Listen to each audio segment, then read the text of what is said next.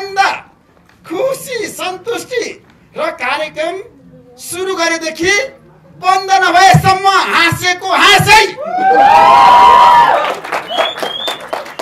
त्यो कार्यक्रम हो के हो कमेडी?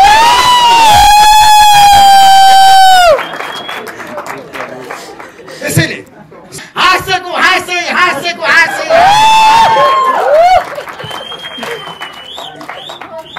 होइन सबैलाई म यहाँ गर्न चाहन्छु जाति पनि आउनुहोस्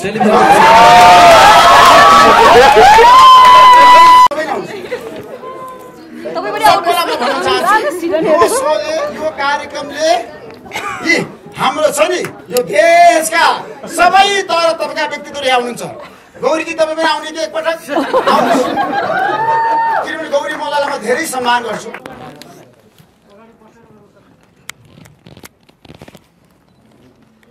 नमस्कार सबैजनालाई।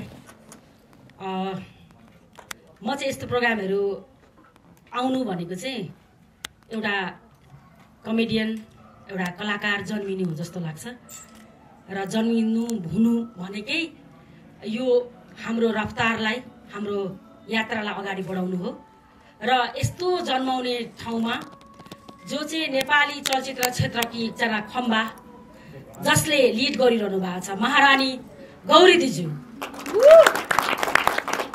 गौरी दिजु भन्ने बित्तिकै त्यहाँ अब केही कुरा हुन्छ नि काम गर्न जाँदाखेरि केही कुरा ठिकै होला या राम्रो होला त्यसलाई सेकेन्ड ब्यालेन्स गर्ने चाहिँ दिजु नै हो। किन त्यस्तो लाग्छ मलाई? किनभने हामी प्रत्येक फिल्म गर्दाखेरि या प्रत्येक कार्यक्रममा जाँदाखेरि दिजुको अनुशासन र कलाकारिताको जुन उहाँले दिनुभएको परिचय छ। त्यसलाई हेरेर नै हामी हुर्केका हौँ। भनेपछि गौरदुजी भएपछि त्यत्तिकै राम्रो हुन्छ। त्यो देखि नै सक्यो ट्रेलरबाटै। र यसमा अब विजयजीले त अब के कुरा गर्नु अब? ले खन्ती लिएर लिएर जाने? खन्नलाई? बेल्चा बेल्चा लिएर जाने? ओके। भनेपछि यो ओभरअल ट्रेलर चाहिँ एकदमै कमेडीले भरिपूर्ण छ। र अर्को कुरा के बताउन खोजिएको छ भने यो ट्रेलरले चाहिँ धेरै कुराहरू कमेडियन मात्रै होइन एउटा अर्को पाटो पनि छ भनेर बताउन खोजिरहनु भएको छ। त्यसको लागि डाइरेक्टरलाई एकदमै ठुलो यसको क्रेडिट जान्छ। हाम्रो विक्की श्रद्धा अघि मैले कुरा पनि गरिरहेको थिएँ विक्की कस्तो श्रद्धा जस्तो देखिएको भनेर। दाई आउनुहुन्छ है नमस्कार। दाई नमस्कार दाई कमेडी गरेर दाई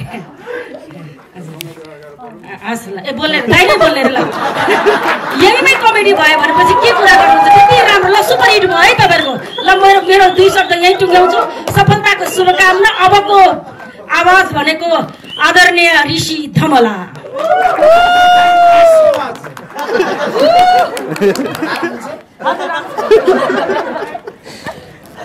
prime time television छोटो समयमा जनताको मन मनमा बस्न सफल। प्राइम टाइम टेलिभिजनले छोटो समयमा जनताको एजेन्डा उठान गरेको छ। जनताको मन मनमा बस्न सफल भएको छ। र सबै जनताले विदेशमा मात्रै होइन स्वदेशमा बस्ने र स्वदेशमा मात्र होइन विदेशमा बस्ने सबै नेपालीले मन पराएको टेलिभिजन हो प्राइम टाइम आज हरेक तर तपाईँको तपाईँ एजेन्डाको उठानको कुरा गर्दा विषयवस्तुको कुरा गर्दा आवाज दिनहरूको आवाज हो प्राइम टाइम टेलिभिजन। गरिब निमुखा जनताहरूको साझा टेलिभिजन हो प्राइम टाइम टेलिभिजन। र हरेक तर तबकाले देशको एउटा किसानदेखि देशको प्रधानमन्त्रीले हेर्ने टेलिभिजन हो प्राइम टाइम टेलिभिजन। आज हामीले छोटो समय जुन किसिमको विषयवस्तु उठान गरेका छौँ र जुन किसिमको कार्यक्रमहरू उत्पादन गरेका छौँ अब कस्तो कार्यक्रम आउँदैछ? तपाईँको प्रतिष्ठाको घडी सकिन लाग्यो। तपाईँहरू के खोजिरहनु भएको थियो प्राइम टाइम टेलिभिजनमा? हास्य व्यङ्ग्य क्षेत्रको महारथीहरूको कमेडी कार्यक्रम।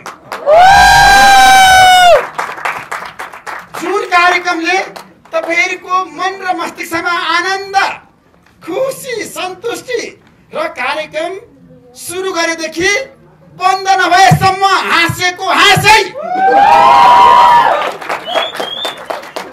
कार्यक्रम हो हो? के हो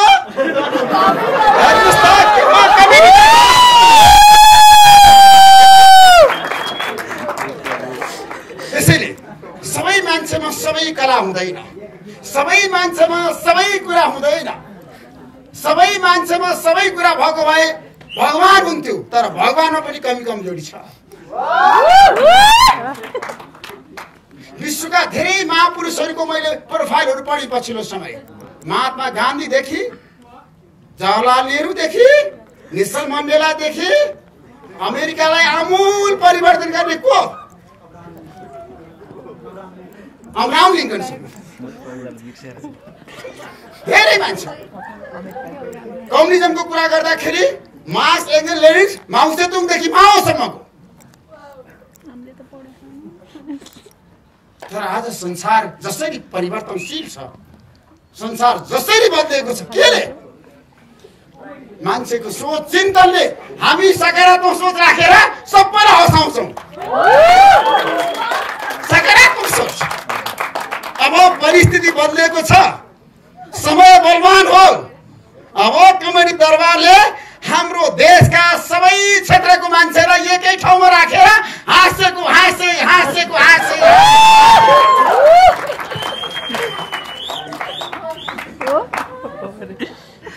मैले कुनै जमाना थियो गुजरातको मुख्यमन्त्री हुनुहुन्थ्यो नरेन्द्र मोदी एकपल्ट मैले उहाँलाई भेटेँ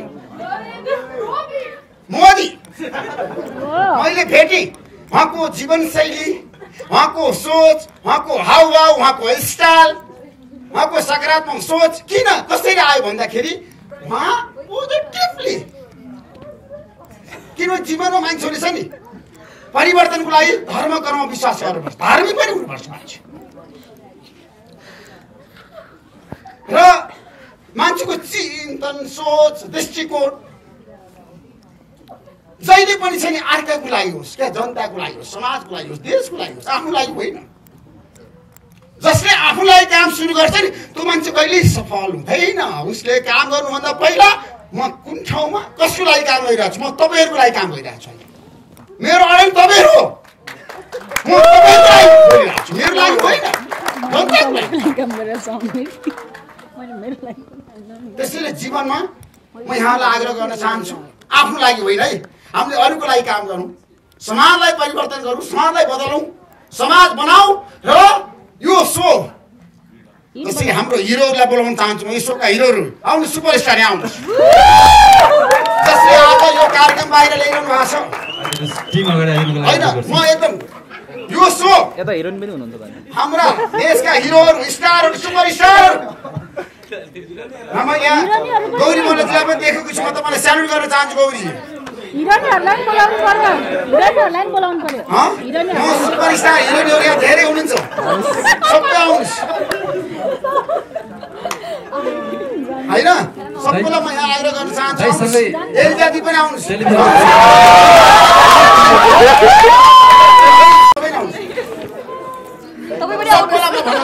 यो कार्यक्रमले यी हाम्रो छ नि यो देशका सबै तर तपाईँका व्यक्तित्वहरू यहाँ हुनुहुन्छ गौरीजी तपाईँ पनि आउने कि एकपटक? किनभने गौरी मल्ललाई म धेरै सम्मान गर्छु। गौरी मल्लको चलचित्र हेरेर म नेपालको चाहिँ चलचित्र क्षेत्रलाई छ नि माया गर्ने एउटा पत्रकार हुँ। गौरीजी तपाईँलाई म अभिनन्दन गर्न चाहन्छु। गौरी मल्ल ग्रेट लेडी म हाम्रो दिवासीजी आउनु तपाईँ? तपाईँ पनि आउनु। तपाईँको योगदान छ। कुनै पनि पुस्ताले दिवासीजी कसैले दिवासीजी आउनु। कसैले बिर्सन सक्दैन। यो पुस्तालाई। विशाल भण्डारीजी वेलकम सबैजना किनभने हामीले भाइहरू सबै गौरी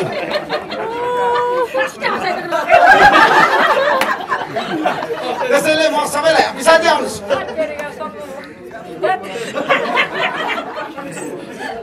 दाइ यहाँ जनताको एउटा कुराहरू आइरहेको छ यो कमेडी दरबार आएपछि दाइको कार्यक्रम फ्लप भयो भने के गर्ने? मलाई फरक पर्दैन म के चाहन्छु भन्दाखेरि मभन्दा राम्रो यो के मान्छे? जसलाई म गर्न चाहन्छु।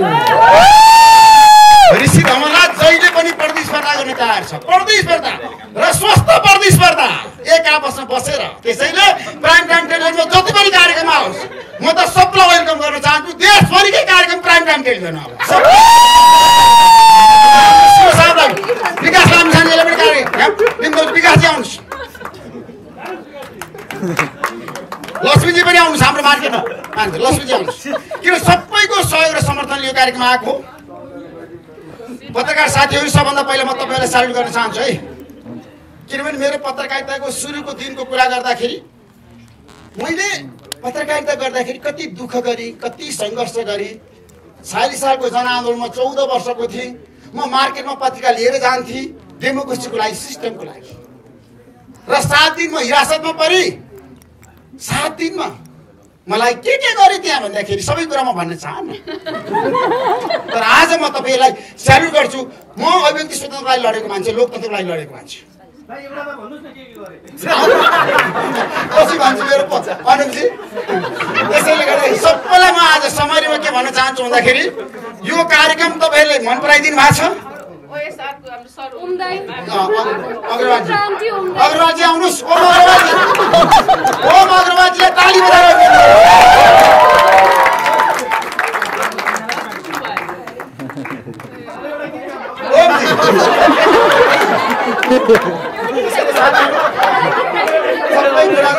समाजले देशले जनताले खोजेको कुरा तपाईँले कमेडी दरबारमा पाउनुहुनेछ हाँस्यव्यङ्ग्य क्षेत्रको खुराकै खुराक पाउनुहुनेछ र हरेक जनताले हरेक तर तपाईँका जनताले हेर्ने कार्यक्रम हुनेछ सादा कार्यक्रम हुन्छ। The comedy show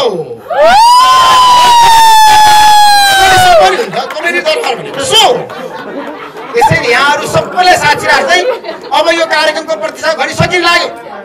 अब तपाईँले प्राइम टाइम टेलिभिजन एटिभीमा हेर्न पाउनुहुनेछ र यो कार्यक्रममा राम्रो बनाउने योग्य मान्छेहरूले त्यो कार्यक्रम सञ्चालन गर्नुभएको छ। क्षमतावान कलाकारहरू हुनुहुन्छ। यहाँहरू सबले उहाँलाई ताली बजाएर अभिवादन गरिदिनुको लागि आग्रह गर्दै म ऋषि धमला तपाईँबाट बिदा हुन्छु। हस्त नमस्कार।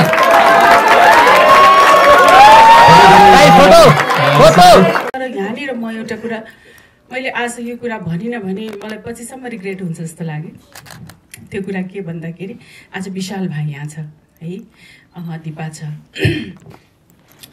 यो जुन कमेडी सो हाम्रो आउँदैछ कमेडी दरबार मलाई अँ, यसको सारा श्रेय चाहिँ विशाललाई जान्छ जस्तो लाग्छ। किनभने नेपालको एउटा यस्तो कमेडी कार्यक्रम जुन फर्स्ट टाइम जन्माएको भनेको विशालले र यसरी जन्माउनु भयो उहाँले कि सारा नेपालीहरूले त्यसलाई चाहिँ एकदमै हृदयमा लिए र उहाँले जन्माएका जति पनि कमेडी गर्ने कलाकारहरू हुनुहुन्छ। उहाँहरूले देशमा मात्र होइन विदेशमा पनि आफ्नो प्रतिभा देखाएर चाहिँ आफूलाई चाहिँ परिचय मात्रै होइन आफूलाई इस्टाब्लिस गर्न पनि सफल हुनुभयो। होइन यो धेरै ठुलो उपलब्धि हो। पहिला पहिला पहिला पहिला धेरै अगाडि कमेडियनहरूको यति स्कोप हुँदैन थियो। दिपालाई थाहा छ हामीले देखेको कुरा हो। बाहिर जाँदाखेरि पनि हिरो हिरोइनहरू जान्थे प्रोग्राम गर्थे आउँथ्यो इभन डान्सर्स जान्थ्यो। तर कमेडियनहरूले कहिले चान्स पाउँदैन थियो। अहिले कमेडियनहरूले लिड गरिरहेको छ हामीहरू बरु पछाडि छौँ। सो यो धेरै ठुलो उपलब्धि सो थ्याङ्क यू विशाल यति ठुलो प्लेटफर्म दिनुभयो तपाईँले र यो आज जुन आजको कार्यक्रममा अब चाहे विकी होस् चाहे अन्य भाइ बहिनीहरू होस् होइन उहाँहरूले जुन एउटा ठाउँ बनाउने एउटा प्रयास गरिराख्नु भएको छ यो सबै तपाईँकै बच्चाहरू हो।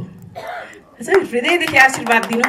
यो कार्यक्रम पनि यो कसैलाई एज अ कम्पिटिटर बनाएको पनि होइन प्रोग्रामको अब डिजाइनदेखि लिएर सबै कुरा अलग नै छ है? र मलाई आज म म भन्न त सकेको छैन तर विशाल भित्रबाट एकदम खुसी छ के हो? उसलाई चाहिँ यस्तो फिल भइरहेछ म बाउ हुँ जस्तो भइरहेछ म बाउ हुँ यो यो फिल्डको यो कमेडियनहरूको यो सोको भन्ने जस्तो फिल फिल चाहिँ भइराखेको होला। किन उसले जन्माएको कार्यक्रमबाटै जन्मेका बच्चाहरूबाट अर्को कार्यक्रम जन्मिँदैछ। भोलि गएर विकीबाट निस्केका अन्य भाइ बहिनीहरूले फेरि अर्को कार्यक्रमहरू जन्माउला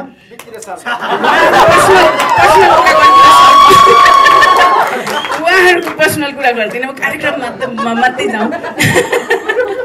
सो एनिवेज मेरो भनाइको मतलब यति हो कि यो जेनेरेसन वाइज जेनेरेसन यसै गरी अगाडि बढोस् होइन? सबै कलाकारहरूले स्टेज पाओस् ठाउँ पाओस् आफ्नो प्रतिभाहरू देखाउन पाओस्। हामी त छँदैछौँ पछाडि। हामीले जस्तो सहयोग गर्नुपर्छ जस्तो किसिमको सपोर्ट गर्नुपर्छ त्यो त गरि नै हाल्छौँ। बाँकी आजको माहौल तताइदिनु भएकोमा रिसरलाई फेरि एकपटक म थ्याङ्क यू भन्न चाहन्छु अल द बेस्ट हामी सबैलाई। Thank you Dipa thank you Vishal thank you all of you तपाईँहरू सबैलाई म्याडम अब विशाल भण्डारीको कुरा गर्ने हो भने नेपालको हास्यव्यङ्ग्य क्षेत्रमा कमेडी सोमा रियालिटी सोमा तपाईँको ठुलो योगदान छ। र आउने पुस्ताले त तपाईँलाई सम्झिरहनेछन् अहिलेको पुस्ताले तपाईँलाई सम्मान गर्नेछन्। सम्मान। किनभने हाँस्यव्यङ्ग्य क्षेत्रमा धेरै मान्छेहरू आए। आज पनि म मदन कृष्ण श्रेष्ठ हरिवंश आचार्य सन्तोष पन्तहरूलाई कहिले बिर्सन सक्दैन म मनमा राखिरहन्छु। पछिल्लो पुस्ता धेरै आयो। अहिले दिपाजी हुनुहुन्छ। दिपाजीलाई हाम्रो पुस्ताले जति सम्मान दिएको छ नि अहिले दिपाजी अहिले हाम्रो बिचमा हुनुहुन्छ। तर हाम्रो बिचमा नहुँदाखेरि उहाँलाई जय जयकार गर्ने मान्छे धेरै हुन्छ क्या। उहाँले ठुलो योगदान गर्नुभएको छ। योगदान! ठुलो योगदान गर्नुभएको छ दिपाजी तपाईँले। त्यसैले सबैलाई स्यालुट गर्दै यो सो भनेको एकदम पपुलर सो होस् र यो सोले सबैको मन जितोस् अब हामी विशालजीको कुरा सुन्छौँ।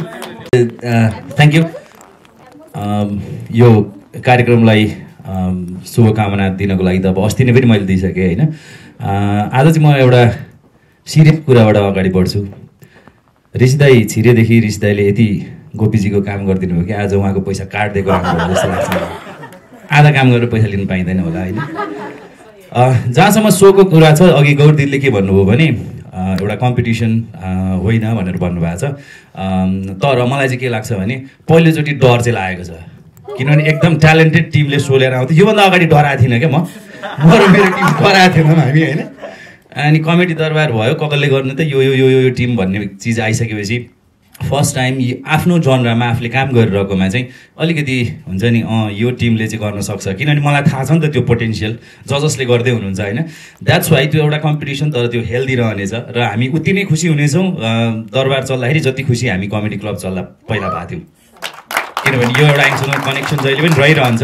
सो सदा र विकीलाई धेरै धेरै शुभकामना अनि ऋषि दाईले गौरदिदले भने जस्तो उहाँहरूको आगामी सन्तानबाट पनि कमेडी भएको हेर्न पाऊँ।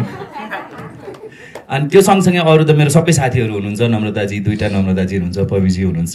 गौरी दिदीको त के कुरा गर्ने कन्यादान हेरेर हुर्किया मान्छे म। आज दिदीको छेउमा उभिनु पाउने ठुलो कुरा हो। यो सब टिमलाई चाहिँ मेरो तर्फबाट धेरै धेरै धेरै धेरै शुभकामना भन्न चाहन्छु। Thank you thank you Vishal sir तपाईँको सदैव नमस्कार। सबै अग्रजहरूलाई नमस्कार। अब सबैजनाले बोलिसक्नुभयो मैले अब के बोल्ने नि? मलाई आउँदैन फेरि त्यस्तो टेन्सन हुन्छ मलाई फेरि बोल्ने कुरामा चिया भने जस्तो मलाई एक्टिङ गर्न चाहिँ सजिलो लाग्छ बोल्न अलिक गाह्रो लाग्छ त्यही पनि बोल्नु त परिहाल्छ यत्रो क्यामेरालाई अगाडिबाट तेर्सेपछि होइन? सबैजना उपस्थित हुनुभयो धेरै धेरै धन्यवाद। ऋषिदाई पनि हुनुहुन्छ दिदीहरू सबैजना हुनुहुन्छ सबैलाई नमस्कार। अनि साथीहरू छौँ हामी अब केही राम्रो गर्ने प्रयास त जहिले पनि हुन्छ नै। यो पटक अलि फरक तरिकादेखि कमेडी दरबार आउँदैछ। ज जसले हेर्न हेर्नुहुन्छ होला एकछिनपछि ट्रेलर हाम्रो प्रोमो आउँछ होला। त्यो हेरेपछि कस्तो लाग्छ प्रतिक्रिया दिनुहोस्। अगाडि बढ्नलाई यसले मद्दत गर्छ। धेरै बोलिनँ। थ्याङ्क यू सो मच त्यसै गरी हामी अघि भनेका थियौँ प्राइम टाइम टेलिभिजन सँगसँगै ओएसआर डिजिटलमा आउँछ।